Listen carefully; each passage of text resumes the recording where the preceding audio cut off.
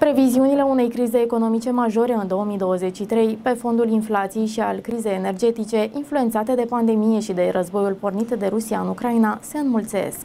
Conform click.ro, cum încă suntem într-un moment de tranziție, anumite măsuri ar putea să amelioreze sau să ne ajute să evităm efectele de criză, care ar putea fi devastatoare asupra României în lipsa unei strategii eficiente. Pentru că avem în continuare acei bani care intră în economie, avem aceste tipuri de politici la nivel macroeconomic, care cumva încearcă să țină consumul la un nivel satisfăcător, astfel încât să existe totuși un motor pentru economie, să genereze creștere economică atât cât este ea, a explicat profesorul Flavius Rovinaru pentru adevărul. În opinia sa, nici măsurile de austeritate nu ar funcționa pe timp de criză. Conform acestuia, cele mai bune decizii ar fi să se reducă la minimum cheltuielile exagerate, să treacă la investiții, dar fără a afecta consumul. Vestea bună, în opinia profesorului, este că Banca Națională a României acționează ferm pentru a combate inflația. Totuși, primele efecte nu se vor vedea foarte curând, relatează click.ro.